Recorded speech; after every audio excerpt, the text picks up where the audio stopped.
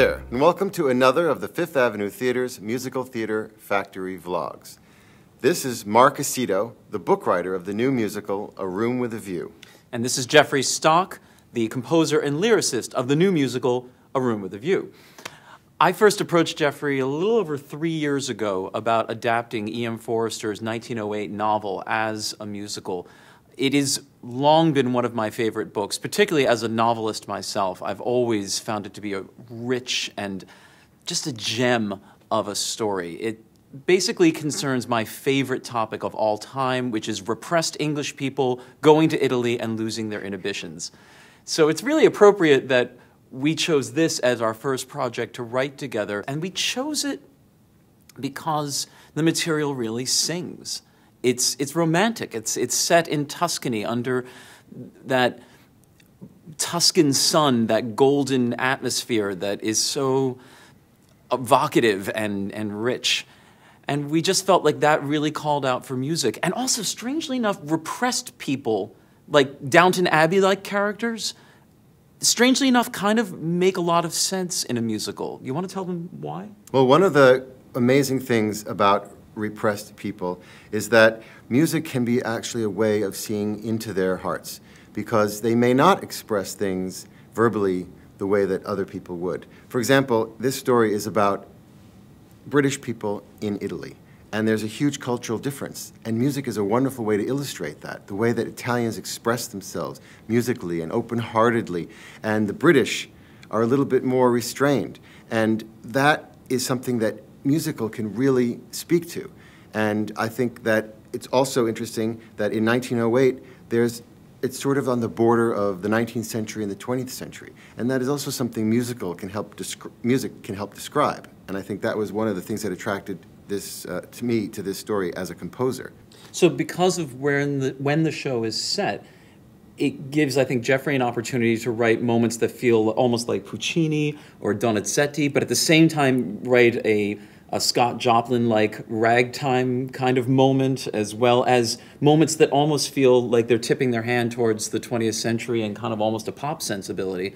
Uh, and as a writer, it enables me to write scenes that feel like I'm, I'm inhabiting the world of uh, George Bernard Shaw or Oscar Wilde. But it, it, really enables us and a chance to be able to just push the show in a whole bunch of different directions so that there's so much to, to be able to be enjoyed, including skinny dipping, I have to say, which.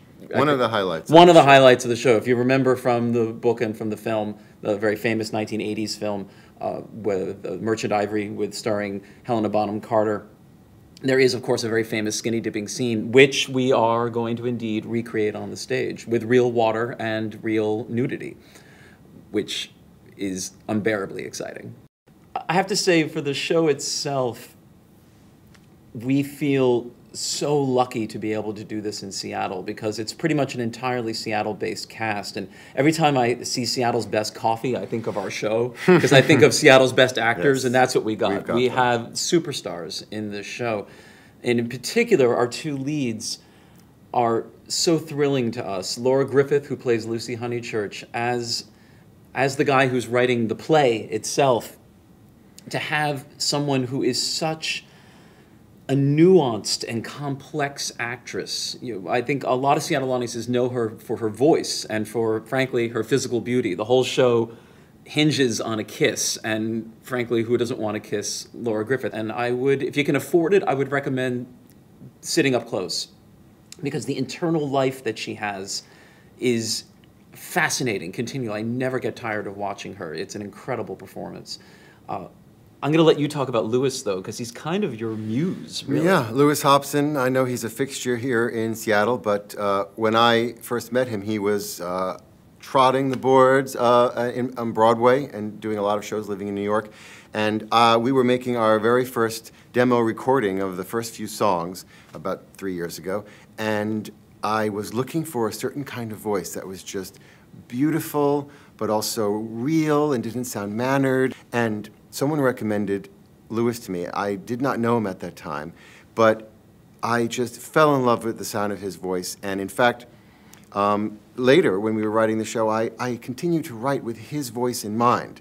And so, especially there's this one song called I Know You that's in the show that uh, I wrote totally hearing him singing it. And so I can't tell you how gratifying it is, just by coincidence, because he's now here in Seattle and we're casting with local Seattle people, that he was available to do this role. And he's singing the songs that I wrote with his voice in mind. And as a composer, nothing is more gratifying than that. And with that, I just want to say this officially on behalf of both of us how grateful we are and how lucky we feel to be doing this at the Fifth Avenue here in Seattle, which is such an incredible incubator of new musicals. This environment is so nurturing. I think of the, the rain being an atmosphere where lots of things can grow, and it's really analogous to being able to make a show. There's this incredible support. The music department, David Armstrong, the artistic director, and also our director, has a vision for the show that is so transcendental and so moving, and yet so human uh, and, and, truly thrilling at the same time. So we we couldn't be happier with what's happening here, and we're very eager to share it. Uh, we hope you come to see the show and you know seek us afterwards and say hello because we're just having the best time here in Seattle. So thank you so much for being for being here online and now get up out of your chair and go downtown and see Fifth Avenue's production of A Room with a View. We'll see you at the theater.